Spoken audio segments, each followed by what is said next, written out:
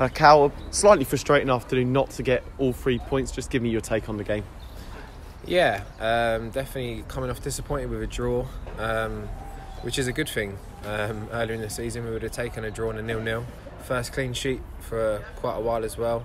So we've got to take the positives. Um, they had to go at home. Their home form was good this season. Um, so yeah, you could say it's probably a fair result in the end. They put a lot of uh, long balls into the box in the second half, and you, Elliot, and Harry seemed to cope with it really well. You must be really pleased with your own performance this afternoon.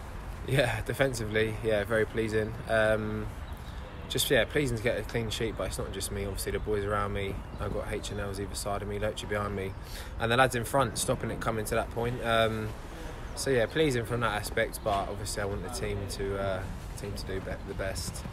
Uh, good in one end, and then up the other end, inches away with your header on goal. You must be just a little bit go that didn't drop the right side in. Kind of, yeah. It was a bit behind me, so I didn't get a proper contact. I kind of glanced it rather than headed it, and yeah, I didn't get enough on it, which is uh, would have been nice to top off the uh, performance in coming back here, but yeah, it wasn't to be.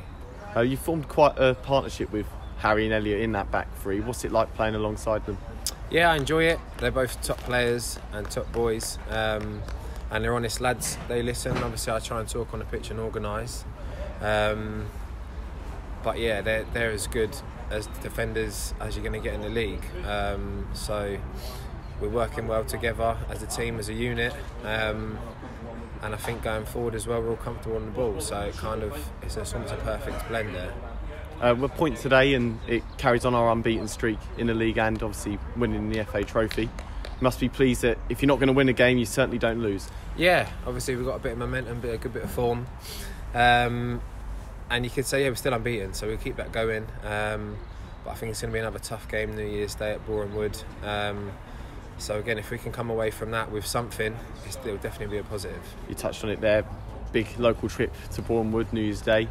Just how much you're you looking forward to that one, and hopefully keep carrying on this run of form.